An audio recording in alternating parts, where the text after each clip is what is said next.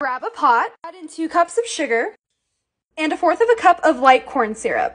Do not mix it, you're gonna leave it like that, set that aside and grab a cup of water. Add in some food coloring. I'm doing red because Valentine's Day is coming up. Mix it together until it's the color you want. And we're mixing! Yeah! Mixing until it's dissolved. Carefully add your food coloring water to the mixture.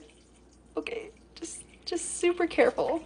Just like that. Very slowly mix that together, maybe for like five seconds. Just like that.